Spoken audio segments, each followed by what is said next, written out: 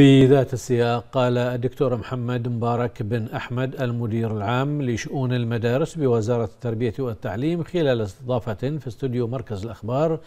قال إن وزارة التربية والتعليم ستستمر في تطوير المناهج الدراسية لتعكس هذا الحدث التاريخي الذي احتضنته مملكة البحرين.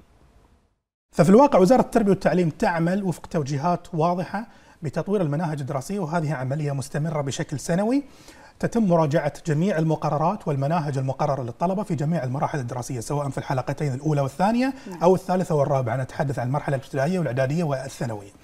طبعا في مناهج المتعلقة بالمواطنة في حقوق الإنسان في الشراكة المجتمعية وغير ذلك من المناهج ويضاف إليها الأنشطة التي يمارسها الطلبة سواء في الفصل الدراسي أو خارج الفصل الدراسي لابد أن تعكس ما تتمتع به مملكة البحرين من تسامح نعم. لا ننسى في نفس الوقت لدينا شراكة عميقة جدا مع وزارة الداخلية من خلال مشروع بحريننا وهذا مشروع في الواقع رائد تضمن عدد كبير جدا من المبادرات التي يعني تزرع في الطلبة حب الآخرين وقبولهم نعم. وقبول التنوع وحب النقاش أيضا معهم وقبولهم على طبيعتهم. نعم. آه، فأنا أعتقد أن إن شاء الله خلال السنوات القادمة آه، عملية التطوير في المناهج الدراسية في مملكة البحرين آه، سوف أيضا تصل إلى مراحل متقدمة جدا تعكس في الواقع هذا الحدث التاريخي الكبير جدا الذي احتضنته مملكة البحرين وسوف يكون نموذجا يحتذى لبقية دول المنطقة في هذا الجانب.